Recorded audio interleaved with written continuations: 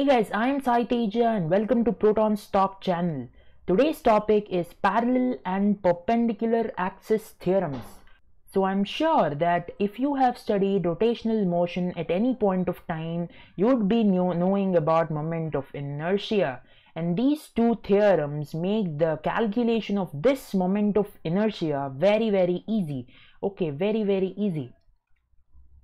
So, uh, for the people who don't know about moment of inertia, let's give them a quick understanding.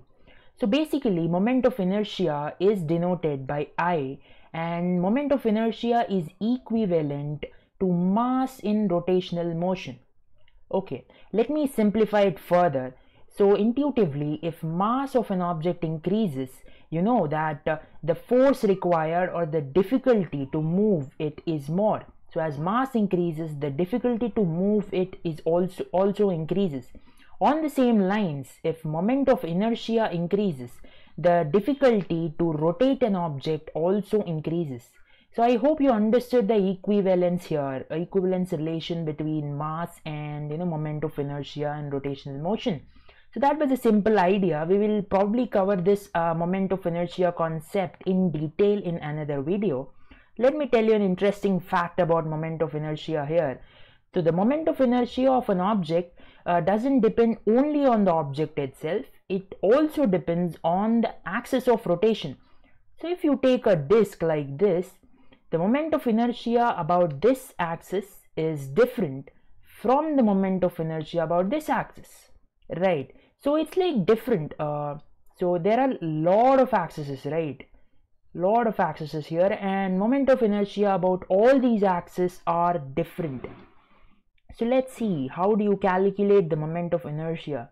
Basically this is the formula to calculate moment of inertia where here r is equal to distance of a point from the axis of rotation and dm is a small mass.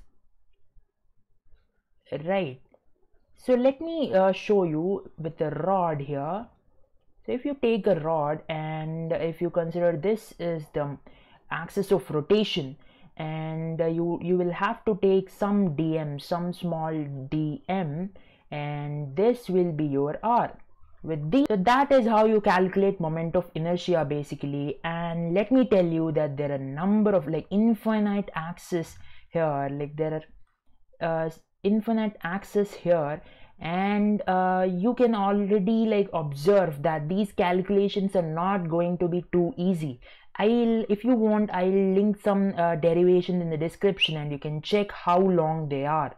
Right so if you uh, if you so just to calculate the moment of inertia about this one axis it's too difficult. So how are you going to calculate about all the infinite axes so here comes our two theorems, the parallel and perpendicular axis theorem, right? What they does is they make these calculations really, really easy. So let's get into these two theorems and see how do they make it easy. So first let's start with parallel axis theorems. Let's go with the definition first and we'll understand it later, right? So let the moment of inertia about the center of mass bi. The moment of inertia about another axis parallel to this axis is simply the sum of I and md square where d is the distance between the axis and m is the mass of the object. Didn't understand that? Let's understand with an example. So let's take the rod again uh, here and let's say this is the center of mass and uh, this is an axis passing through center of mass. Let's say moment of inertia about this axis is i. And let's take another axis passing through the end of the rod. And let's say the moment of inertia uh, cross about this axis is i dash. And let's say the distance between these two is d. And let's say the mass is m so parallel axis theorem says that I dash is equal to I plus md square. So basically the moment of inertia about the axis through center of mass plus the mass into square of the distance between the axis. It's pretty simple, right? there is nothing much the axis the theorem itself sounds a bit uh, afraiding uh, frightening but it's not like that it's pretty easy i hope you understood that right so quickly let's move to the next theorem perpendicular axis theorem first let's go to the definition and we'll understand with an example again so it says that let the moment of inertia about an axis perpendicular to the planar surface be iz. Let's take a planar surface, planar square surface probably. And it says that uh, axis perpendicular to the planar surface. So this is the axis perpendicular to the planar surface. Let the moment of inertia be iz after that, it says that Ix and Iy be the moments of inertia about two mutually perpendicular axes in the plane. And it also says that two axes should intersect where the first axis cuts the plane. Right. So let's say these are the two axes and they are mutually perpendicular and they are inter and all the three are intersecting Let's say that moment of inertia about this axis is Ix and about this axis it's Iy. Then according to perpendicular axis theorem, it says that Iz is equal to Ix plus Iy. So basically, moment of inertia about a perpendicular axis is equal to the sum of moment of inertia of mutually perpendicular axes which are in the plane, right? and that is also pretty simple. It's just this simple you know. So i hope you understood this as well. Let's move on to the next top next uh, thing in the video. It's the applications. So as you might be realize as you might have realized by now that uh, um, moment of this uh, these two uh, theorems eases the calculation of moment of inertia that is the main application of these two theorems there is nothing much more than this so after the applications I would like to show you just two small examples so that you understand how uh, these two theorems make it easy. Let's, these, let's see this question. It says that the moment of inertia of a thin uniform rod of mass m and length l about an axis perpendicular to the rod passing through its center is ml square by 12. So it asks the moment of inertia of the rod about an axis perpendicular to the rod passing through its endpoint. Let me explain you the problem.